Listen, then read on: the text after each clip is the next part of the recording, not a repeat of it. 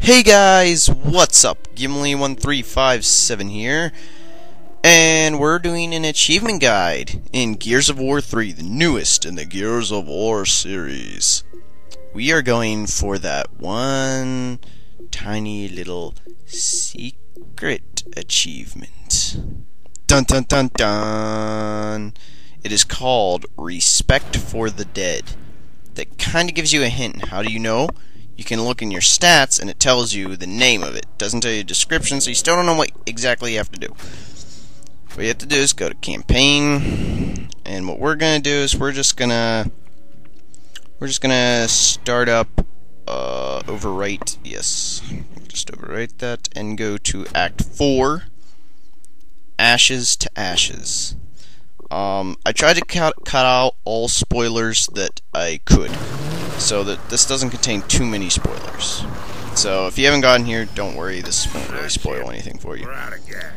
But it's at the pretty much from the first, the whole first chapter is when you do this.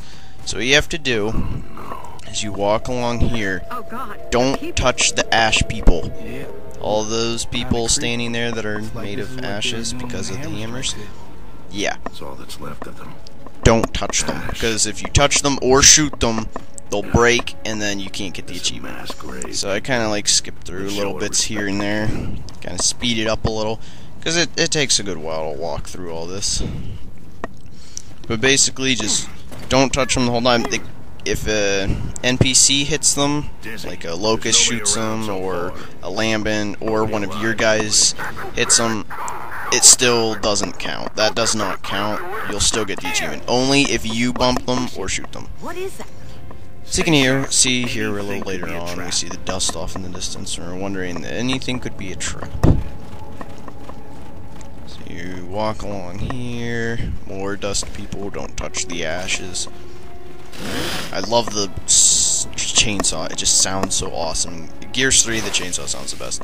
See there, he shot it, but you'll still get the achievement because he's the one who shot it. Just like with the spinny thingy, it like shoots four of them, but you still get it. So you go on here. Later on, you'll fight some Lambent. See him shooting the stalk, and then you shoot the fatty. Hey, fatty, fatty, fatty. And they're getting shot like crazy. Yeah, I know this is sad. I'm casual. I'm almost dead. It's kind of sad, but is is just a guide. This isn't for skills. So, go here. This guy, I love the big ones because you get to chainsaw them and you don't get hurt because he kicks them. So much fun. I love doing that. And so, get the last guy over there. And then the lift will start coming down. But we're going to skip to when we're going up the lift. Yeah, tell me about oh, Griffin. Oh, he's the chief around here. Griffin Operation, remember? Yeah. Right, the so Griffin Emulsion Corporation. Wow, not since our last shipment went missing. So, us, then, we can't get fuel, but we can get an achievement, and that's all that matters.